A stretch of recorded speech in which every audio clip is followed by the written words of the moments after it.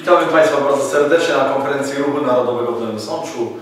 E, Nazywam się Krystian Lachner, jestem prezesem Ruchu Narodowego w Dolnym Sączu. E, Proszę Państwa, dzisiaj będziemy poruszali temat e, dobrowolności szczepień i sankcjonowania tego prawa względem pacjentów w Sądeckim Szpitalu imienia Śniadeckiego. O przeczytanie paru zdań proszę kolegę Grzegorza. Teraz przeczytam punkt ósmy zasad odwiedzin chorych e, leczonych w oddziale w szpitalu w Nowym Sączu.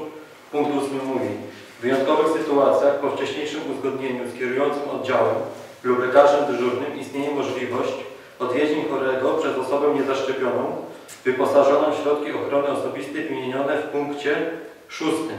Punkt szósty mówi odpowiedza- odwiedzający musi posiadać maseczkę zasłaniającą usta i nos oraz dodatkowo oraz fartuch barierowy. Odwiedzający powinien we własnym zakresie zaopatrzyć się w te środki. Proszę Państwa, jak przeczytał kolega Grzegorz, widać tutaj, że Sądecki Szpital dzieli pacjentów i ich bliskich na osoby lepsze i na gorsze, na osoby zaszczepione i niezaszczepione. W tym przypadku osoby, które są niezaszczepione będą na mocy tych zasad dopuszczane jedynie w wyjątkowych sytuacjach. E, Czym są te wyjątkowe sytuacje? O to zapytaliśmy dyrekcję Sądeckiego Szpitala. W odpowiedzi otrzymaliśmy następujące wyjaśnienia. O wyjątkowości sytuacji decyduje lekarz kierujący oddziałem lub lekarz dyżurny. Co do zasady będą to sytuacje związane z nagłym pogorszeniem stanu zdrowia hospitalizowanego. Proszę Państwa, w naszej opinii jest to coś niebywałego, coś y, horrendalnego, a więc dopiero wtedy, gdy pacjent umiera albo jest w stanie terminalnym, dopiero wtedy ma prawo zobaczyć swoich bliskich.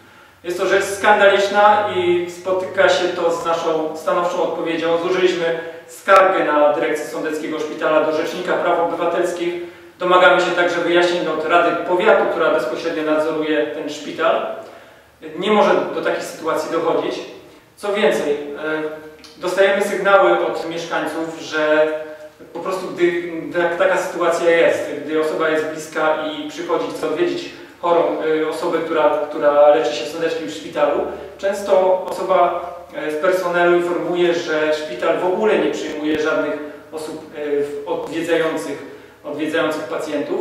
E, Zapytaliśmy również sądecki szpital, kiedy stosował takie metody, a więc kiedy za, zabraniał w ogóle dostępu do, do pacjentów osobom bliskim, bo według ustawy o e, lecznictwie ma e, e, dyrekcja szpitala w wyjątkowych sytuacjach takie, takie prawo.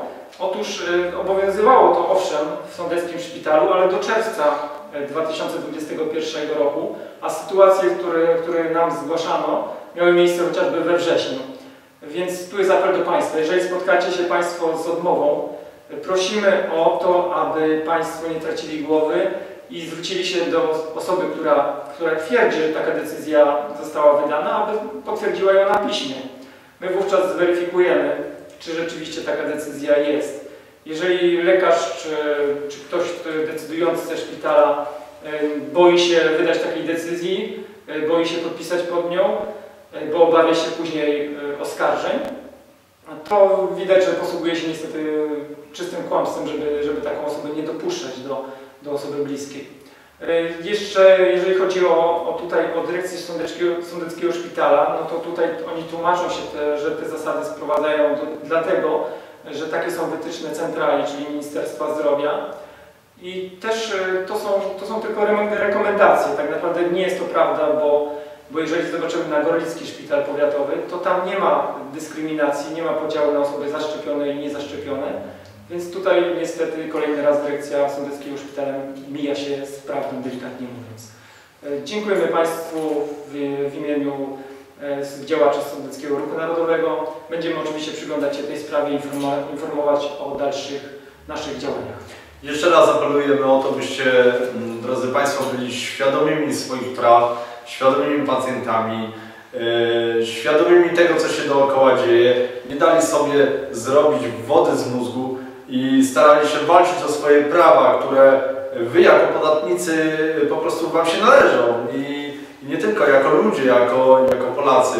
Bądźmy świadomi naszych praw, obowiązków, które na nas spoczywają i dopełniajmy ich z całą stanowczością. Dziękujemy bardzo.